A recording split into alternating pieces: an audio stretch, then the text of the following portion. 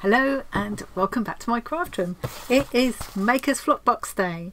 Uh, this has just been delivered by the postman and I've pretty much run straight upstairs to open it up and see what's inside. So the Makerss are a UK based company specialising in all things needle felting. The founder Steffi Steffi Stern is an amazing lady. Um, she does she designs all of the kits and things herself. All of the stuff they sell is sustainable and eco-friendly and all of the products are things that Steffi enjoys using herself. I was very lucky to be given a subscription to the Makerss Flock. Um, which is their kind of mini subscription. They do a maker's box, which where you make a, a big item each month, and they do the maker's flock, which is all little samples and other perks and things that aren't actually in the box. Let's go to the desk. So last month's Makerss Flock box, we were making keyrings and Steffi showed us how to, the box included the um, keyring findings and some cotton covered wire and Steffi showed us how to incorporate the wire into the body of our piece um, so that in effect you could turn any little small item into a keyring because the this part is attached to the wire inside um, so it's absolutely secure. So one, it just opens up so many possibilities. So I did a couple more. I made this little toadstool, this little fly agaric toadstool. Needs work, needs work. I am. This is still early days for me. And this cute little carrot with the googly eyes. And um, and this is all using things from in the box. And I've still got I've still got some uh, wool left there as well. So uh, that's gone into my stash now, and I'm ready to get into the next box. It's all, all the packaging is recyc recyclable and stuff, so that's always good. Should we go in? Should we go in? Should we go in?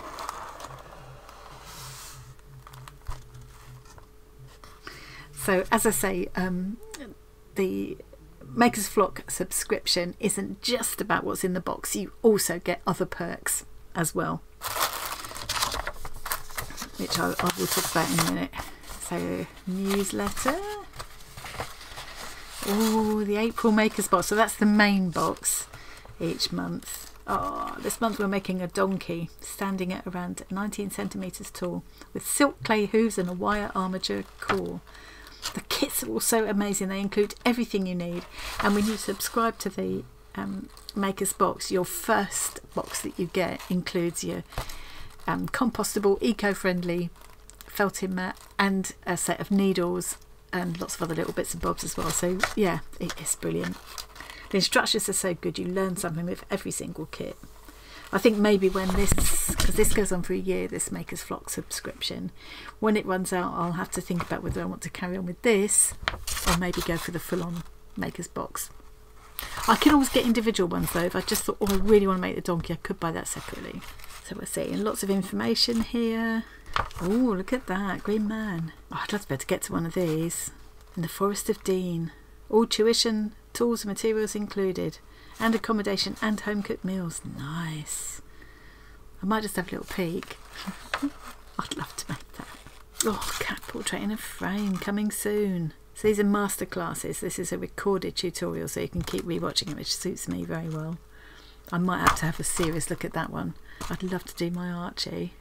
Anyway, okay, let's get into the main event. As I say, all eco-friendly packaging, all recyclable and everything. Well, I tend to save the tissue and use it for collage and things. Let's get it out of the way because it's noisy. So that's the main newsletter. This is the Makerss Flock newsletter, which I'll need to look at in a minute. Oh, look at this. Now these, they call these try me samples, but look, that's a hefty sample, isn't it? Enough to make, like I say, the the wool we got in last, I could, I'll just grab what I've got left from last month. Hang on. There we go. So we got like a mini version of the Enchanted Forest pack, which I've actually got the full size version of anyway.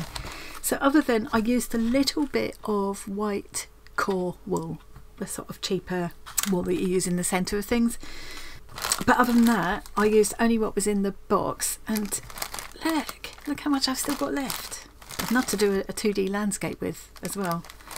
Okay, so this time we're looking at all these, mmm, look at all the different textures here. Oh, exciting. Now every month you get a different sheep. So every month you get a sheep swatch sample. I have to say that really carefully. Um, so you build up this little flock of sheep. Obviously, you can use these in projects and things, but I quite like the idea of building up this little collection of swatches. And there's always the information on here to tell you what they are. So if you want to order some, um, you know exactly what to ask for. I like this. I love the variegation in that. So what is this one?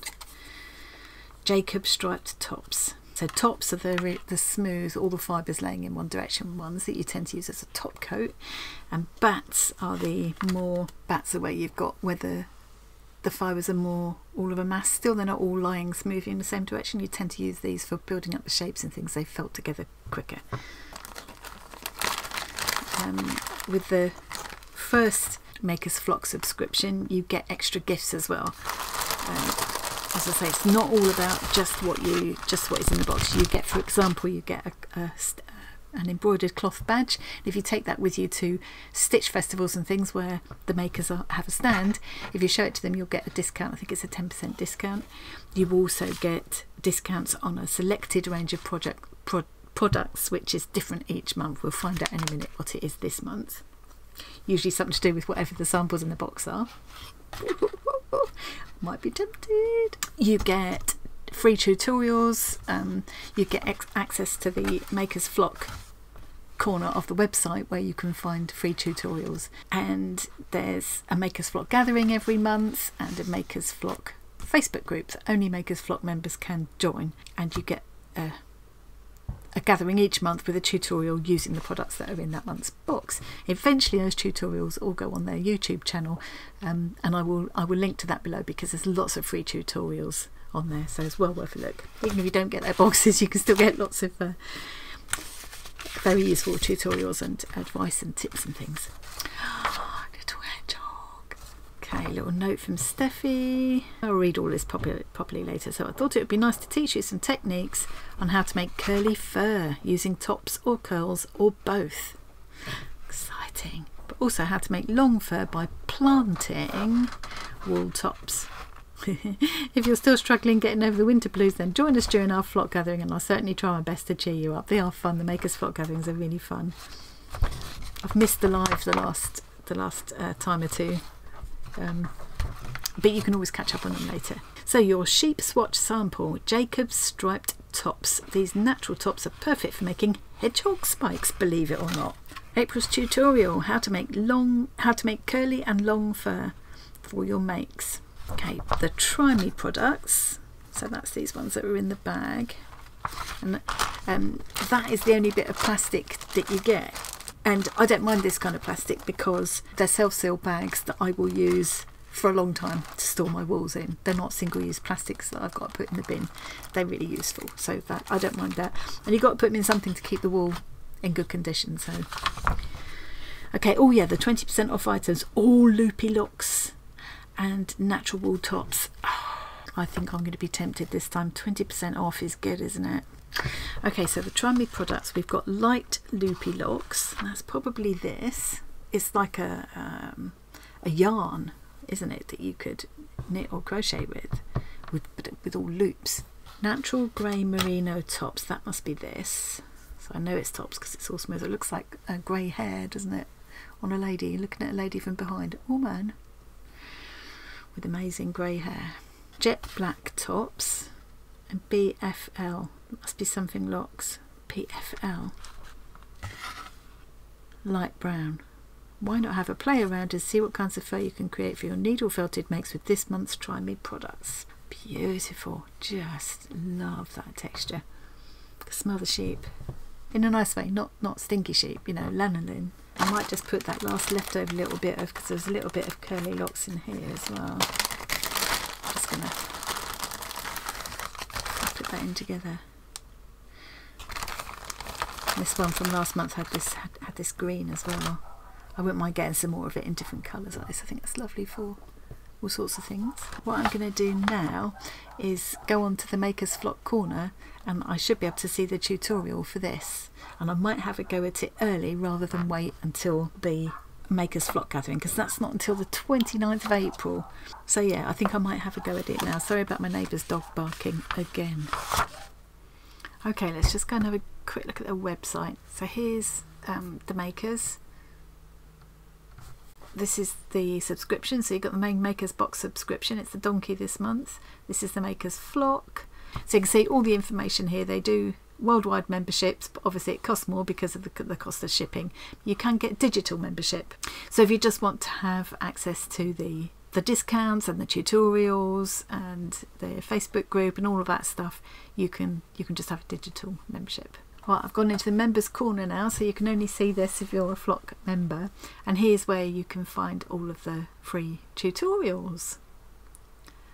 Uh, so here's my curly hedgehog. Tells me easy beginner. It's eight centimeters long. Nice. Now I don't know. I don't think this is exactly the same wools as we've got in the Try Me samples, but I've certainly got. You know, these will certainly work. That's interesting. There, the angel policy there um, the copyright information. You're very welcome to sell finished needle felted items that you've made using these instructions, and we love it if you give us a mention. However, you can't sell or copy the instructions. Absolutely fair enough. Well, that's good to know. And you can't use these instructions in workshops. Absolutely fair enough as well. I have downloaded my PDF now. Um, that's very quick to do. Took a few seconds. So I think what I'm going to do, um, because I've got I've, I've got that I've got access to that little tutorial already, and I've got enough here to make that little hedgehog with. But when we have the Makerss Flock gathering at the end of the month, Steffi's going to tell us how to use these, which must be the light loopy locks.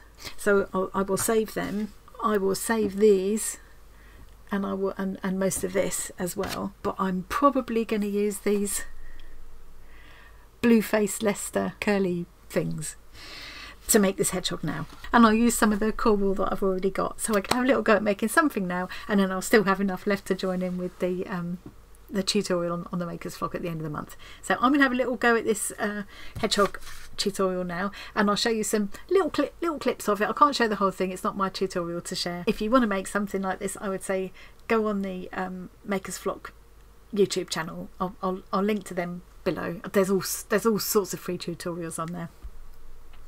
Okay, I'm going in. I'm going in. I've just realised I've been chatting away to myself. so I've basically made myself roughly the, the shape that the, the uh, tutorial has told me to go for. It's kind of somewhere between 8 and 8 and 10 centimetres. I've made mine a bit on the smaller side. Um, you didn't miss much. I just kind of rolled this into a ball and and started stabbing like this to uh, compact it all a bit and now I'm just going into this end to start forming the shape of where the snout will be. And it's really handy that at the instructions at, at, the end of the instructions you've got a little template an actual size template that you can use to help you make sure you're getting the shape right. I'm not going to bother printing it off. I'm, I'm hoping I can do this by eye without having to bother printing. Steffi's instructions have been brilliant. Every single kit that I've done, I've learnt something from every every one of them. And of course, you can then take that on into the future and, and do your own creations using the techniques that you've learned from these kits. And even if you don't have their kits, um, you can still access tutorials and things on the on the YouTube channel. I would say if you want to get hold of felting supplies um, I can't recommend the makers highly enough. This is like camouflaged against my against my felting mat you can see sort of where I'm going. It's already looking a bit hedgehoggy shaped. So I'm going to carry on working on this. I'm just going to shape this snout a little bit more. And uh, and then I'll be back because it's time to do the legs.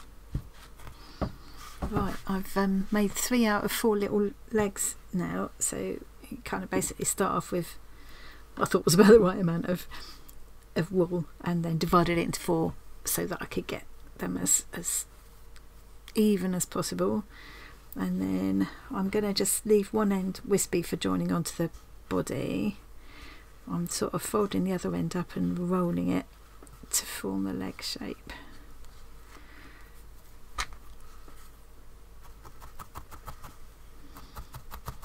It might be a little bit too chunky in my, my legs, that's okay.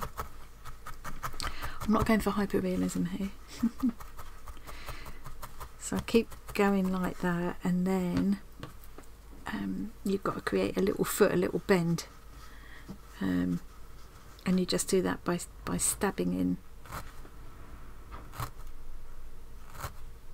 repeatedly at the same point and that should make it start to bend. Make sure you keep picking it up off the, off the mat or it will felt itself to the mat. Yeah, you can see that it's starting to make the little leg bend. I think it's just such a forgiving craft because, you know, um, if you make mistakes you can just join a bit on or if you're quick you can pull a bit off and I also love that even when you even if you've got a kit um, with the same supplies as everyone else is using and you're following the same instructions because it's so kind of organic every single one's going to turn out really different anyway so I think that's kind of what I'm aiming at I've got that little foot now and then I'm going to join it onto there body. I think my body's a bit more flat at the bottom, but that's okay. And I could round it out a little bit. The kind of bend in the foot has got to go towards the front, so they'll all they'll all go kind of yeah, quite near the middle of the sort of tummy part of the hedgehog. And I've left these bits wispy because I just yeah that'll make it easier to join them onto the main body of the hedgehog. Okay, I think that's about right. So now I'm going to join it on just by stabbing through the, the top of the leg and straight into the body. Sorry, hedgehog. so I'm going to do that with all four legs and then I might end up just doing some extra little wisps across where the joins are just to, you know, just to smooth out where, where they're joined.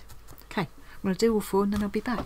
The little legs are on. I think I might just put a little bit of the this um the grey that we got in the kit just over the top so, that's, so this is tops so it'll give me a kind of a smooth if I lay them all in the direction the fur would grow I think it'll just some of the darker grey will still show underneath. I, th I think that'll look good. So this is me going away from the instructions, but that's the thing, you can always put your own little spin on things. Usually you sort of pull them apart to divide the wool up, but sometimes it's okay to sort of cut it as well. Just depends what you're doing. I feel like I just want a little lighter bit on the on the tummy, so I'm just going back and using some of that uh, core wool. That's too big, just need little tiny wisps of it. Just want to make the tummy a little bit lighter than the rest. And take a little wisp of the black from the box. Really tiny bit like that.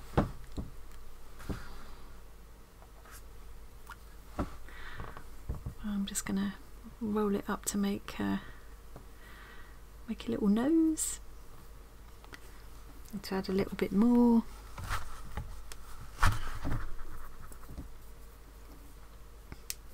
Loads of that black because you can mix them as well.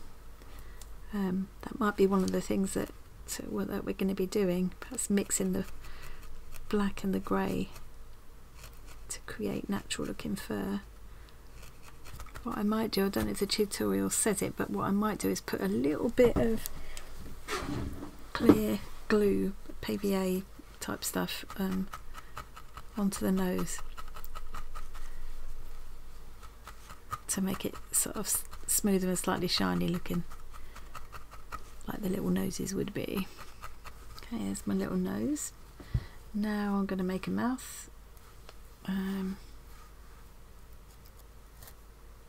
and you just you can make a line shape by keep going in the same place over and over. You have to go quite slow and careful, I do anyway. But you can create quite a definite line. I hope I got that in the right sort of place. Whoops. Yeah, I'll probably just work on that a little bit more to define it. I might even put get a little wisp of pink from my stash and just put a little tiny wisp of pink there. Just like you can slightly see the inside of his mouth. Just felt all over a little bit more to firm all this up. And I might even trim off some of the wispy bits that I don't want. I need to put eyes in so I need to dig out some brads make a hole to put the eyes in glue the glue them in. Um, yeah. So I'm, I'm gonna just find some um, find some brads that'll work for eyes and I'll be back in a mo he looks more like a mole at the moment doesn't he? I've um, added some white to the tummy and sort of blended it out um, up the legs and things. Um, I've dug out a couple of little split pins little brads from my paper crafting supplies which I think will work for eyes. I've defined the the little mouth a bit more. Just realised he wasn't smiling on both sides. Whoops mind the finger. So that's his little mouth. Um, so now I'm just going to make holes where the where the eyes will go which I think will be about here is going to be about right yeah I reckon that'll be okay. Instructions tell you to push the needle right through to make a make a big hole where the eye will go. Okay.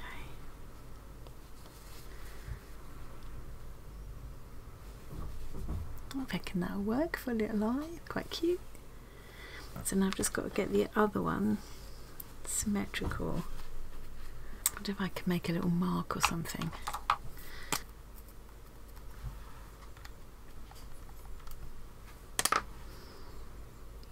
that sort of worked. Let's just make the make the hole a bit deeper. They might be slightly asymmetrical, but as I keep saying this year, my one of my mottos for this year is embrace the wonk. Okay, so I think I've got those kind of reasonably reasonably the same both sides. So I just need a little bit of glue now. I think I'm going to use my strong glue rather than because I'm sticking metal in there.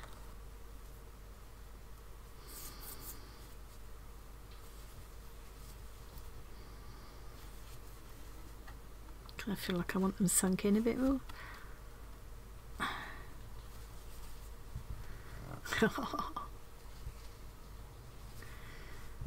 so now all I've got to do is the most fun part really which is adding these little curls just sort of stab them into stab them into place. I'll have a look at the PDF or some or some photos. I'll get some photo references up. How far, you know, what shape to, to make the face, I guess. Oh, that's going to be so cute.